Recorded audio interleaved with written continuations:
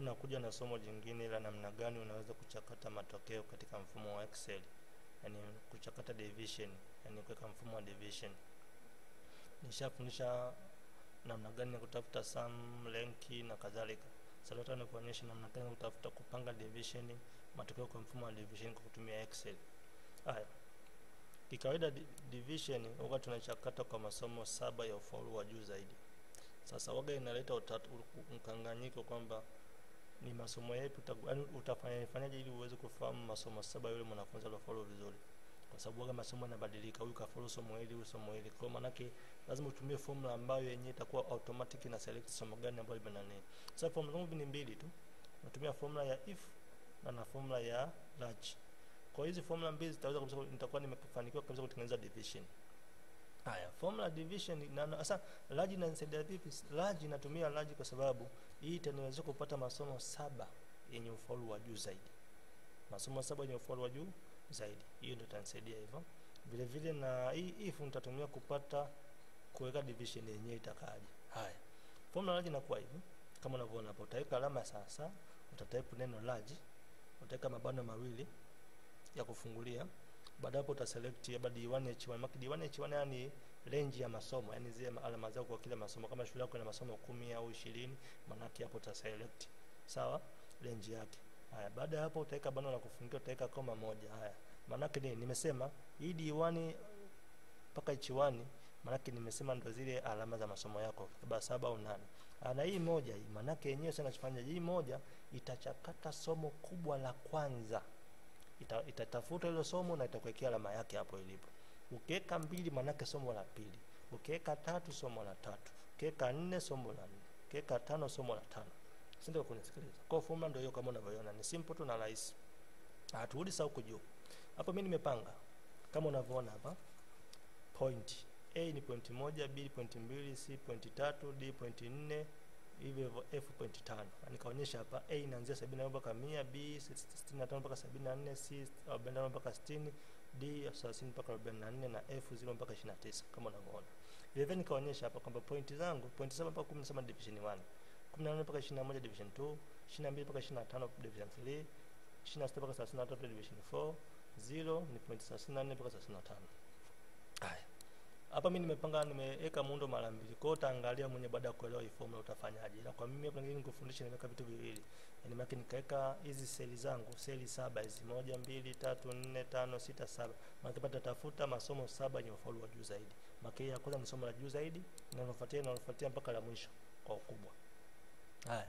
Vile vile ngoja nikaja ta point kwa kila somo. Baadaye masomo kwa nimekalkulate huko, hapa ndio nitatafuta point kwa kila somo. baki somo la kwanza mpaka la mwisho lile. Sawa? Baada hapo nitatafuta jumla ya zile point, mwisho nita- mwisho wa usiku nitakalculate nini? Division.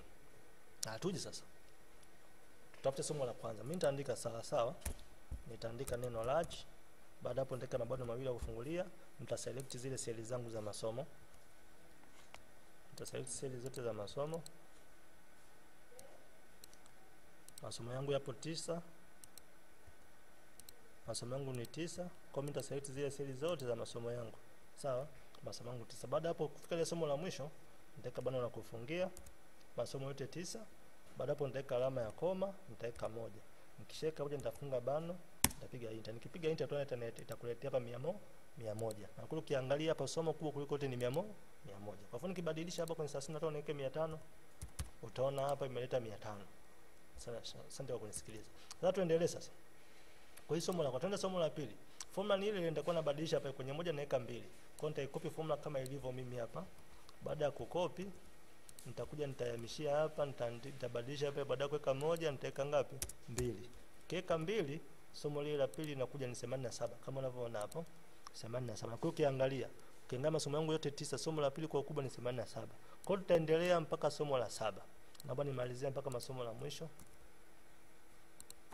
Na somo la tatu. Nakuja somo la nne. Tunakuja somo la tano, somo la sita,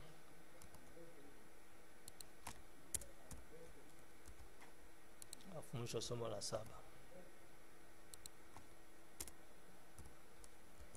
Haya muona hapo kuna 53 53 maana haya masomo yamefanana. Kwa itachukua yote kama yalivyo itapanga. Kwa somo la mwisho utalipata 45 baada ya hapo tushajua masomo saba ya msingi ya kutafutia division. Tushamaliza. Baada ya hapo tuende point wa kila somo. Kwa tuanza somo la kwanza. Maana somo la kwanza bila uchakate point zake ni ngapi? Haya tutakuja. Utakuja hapo kwenye point kwa kila somo kama unavyoona. Nitaandika alama sawa sawa sasa hapa nitatumia formula ya if. Kwa nitaandika if baada ya hapo nitaenda kuselect ile seli ya somo la kwanza la kubwa la kwanza. Nikisha select hapo nitaandika if greater than or equal greater than or equal. Ah tusema point kama ikiwa kubwa au sawa na sabini na tano sawa? Ikiwa kubwa sawa na sabini utaweka koma utaweka moja. Sawa? Ikiwa kubwa au sawa sana na sabini utaweka moja. Haya kwenye formula ya if nyuma nilifundisha kwamba ile result yako ya hii result ambayo unaweka hapo unaweka kwenye fungu la sehemu lakini kwa hapa ili isomeke namba please please usiweke ndani ya usiweke katikati ya fungu la sehemu na fungu la sehemu kwa sababu kitu chochote ambacho kipo ndani ya fungu la sehemu na, na fungu la sehemu kina- kinahesabika kama ni text katika excel. Text Kwa maana text itakuwa sio namba kwa ukijumlisha inahesabiwa kama sio namba. Kwa hiyo namba unaweka moja kama ilivyo maana ni pointi moja ikiwa kapata 75 au zaidi ya 75 tutaenda sasa tutaendelea tena tuandika if utaselect ile seli ya somo ya kwanza utasema ikiwa kubwa au sawasawa na 65 hapo sasa na b utaweka koma utaandika mbili maana point mbili. Utaandika tena if if utaselect ile seli yako ya somo kubwa la kwanza utaandika ikiwa kubwa au sawa na ngapi na 45 utaweka koma itakuwa ni tatu pointi tatu utaweka koma utaandika tena if utaselect somo la kwanza lile lile tena itakuwa kubwa au sawasawa na 30 sawa weka koma utaandika 4 maana ni point 4 akipata ku- 30 au ukiwa kubwa 30 hapo kwenye mpaka 44 maana itaandika pointi 4 utaweka koma baada hapo hapo iliyobakia imebakia moja utasema tano. Automatic italeta tano kwa iliyobakia. Baada hapo utaweka fungu funga semi utapiga enter. Ukipiga enter tunaona hapa imesoma. Tunaona imesoma pointi moja. Na kweli ukiangalia hapa 100 ni a sasa na pointi moja. Hivyo hivyo hii formula utaiapply kwa masomo mengine yote saba yaliyobakia. Yale mengine yaliyobakia sita kwa utaandika hapo. Tuende somo la pili hapo uta select ile cell yenye somo la pili.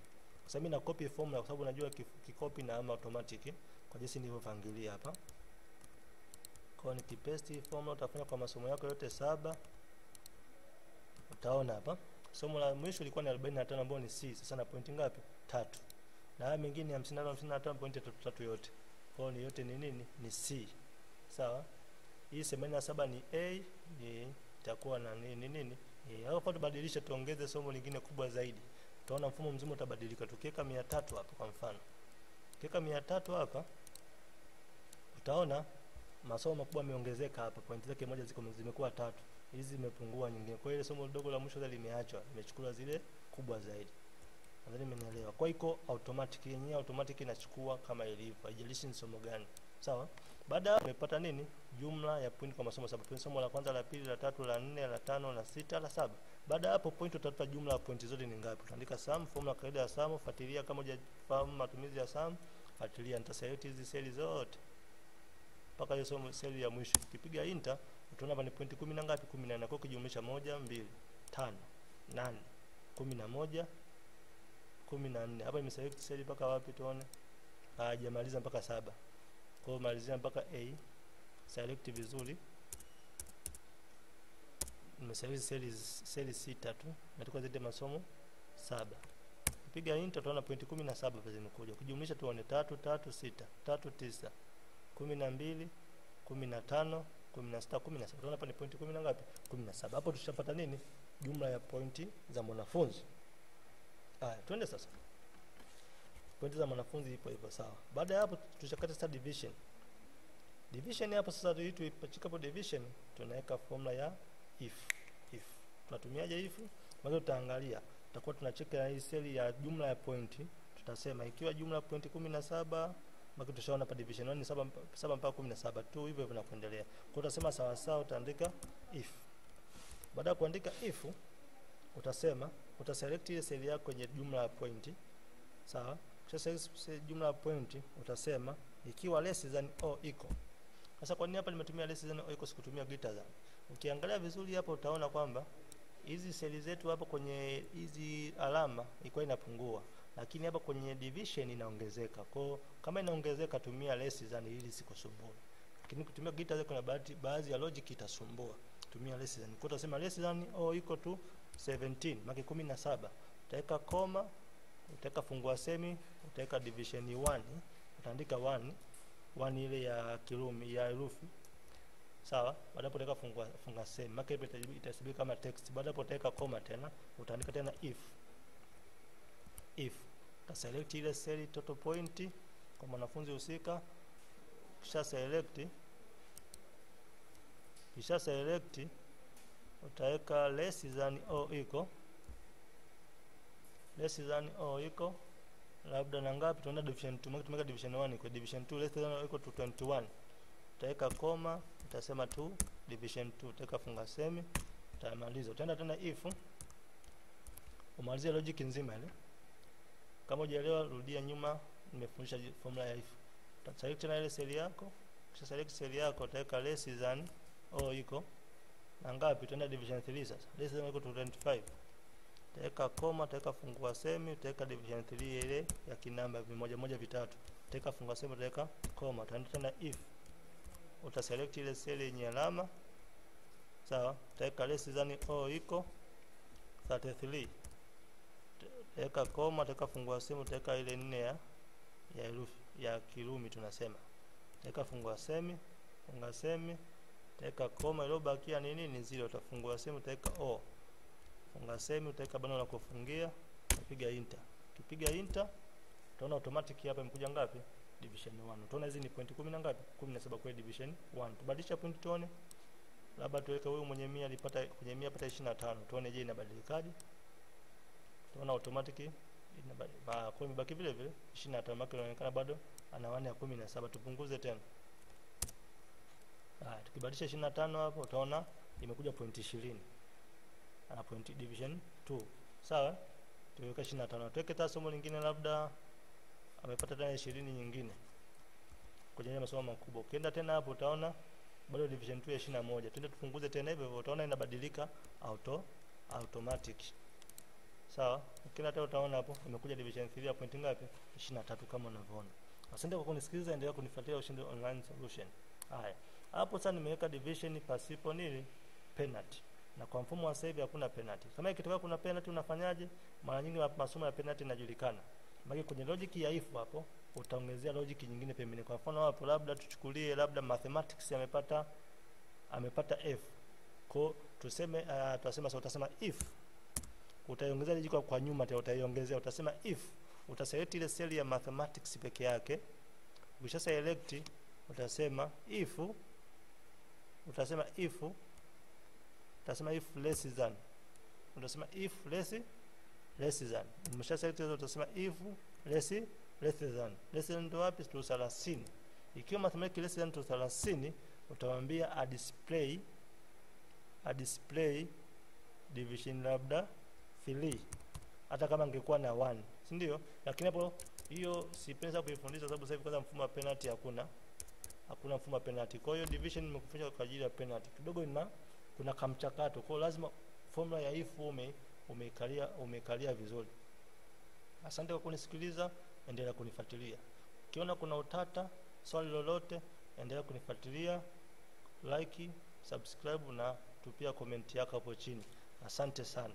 Asante sana. Kama unavyoona hapa tayari division tumefanyaje? Tumepata division. Jinsi ya division. Ni rahisi sana. Kwa baada ya hapo sasa hii unaweza kaitumia kwenye matokeo yako kuja kuipachika tena hapa. Utajua mimi unafanyaje hizo kalkuletia hapa kama kawaida. Kia hapo mimi nilikuwa nakuonyesha tu knowledge knowledge uielewe. Na magari unachakata mambo mengine utaendelea mwenyewe. Utajiongeza na wewe mwenyewe. Kama una swali lolote tupia komenti yako. Kama unahitaji somo lingine tupia komenti yako. Usisahau. Kuna somo linalofuata namna gani ya kuchakata GPA endelea kunifuatilia. Nitakuletea somo la GPA asante sana